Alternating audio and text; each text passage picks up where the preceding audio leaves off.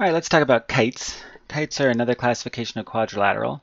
And with a kite, specifically, there are two sets of sides that are congruent. So in other words, there's one pair of sides that are the same and another pair of sides that are the same. But all four sides are not the same. So specifically, there need to be two pairs, pairs, pars, pairs of matching sides. Boy, I'm not writing well, am I? Matching sides. And commonly we see this shape right here. We get our two pairs of matching sides where two of them are quite a bit longer than the other two.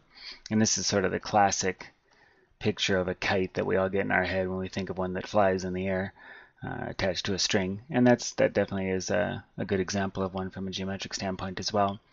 Um, a kite also can have one convex pair of angles where you know it sort of punches in like that. Although if, if that's the case, if that's what it has, it's technically considered a dart, um, sort of a subclass of kite.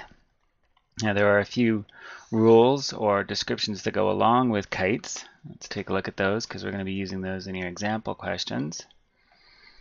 Um, first one is that with uh, when you have a kite, the two angles that are associated in between the matching pairs of sides. So you can see this one here on the right hand side is in between these two matching sides and the one on the left end here is in between these two matching sides here.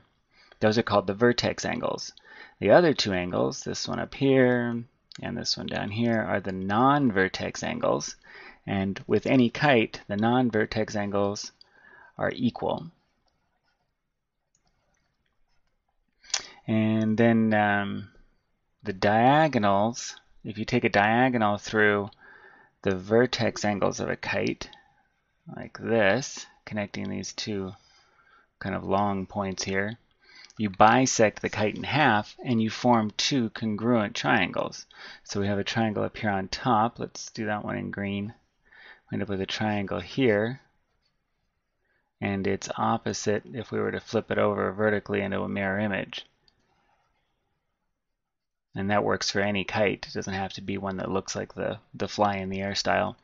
And then if you were to take another bisector and split through the other two angles, the non-vertex angles, then you end up with a 90 degree corner right in here. So those two things are always going to be uh, perpendicular and meet at 90 degree angles. And that's really it. So let's take a look at how these rules apply to the example questions.